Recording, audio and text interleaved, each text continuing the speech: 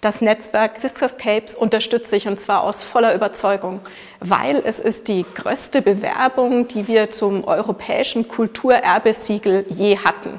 Was verbirgt sich dahinter? Es ist ein Netzwerk zwischen 17 Städten und zwar in fünf Ländern, in Deutschland, Österreich, Polen, Tschechien und Slowenien. Und es geht um die Zisterzienser, um die Klosterlandschaft.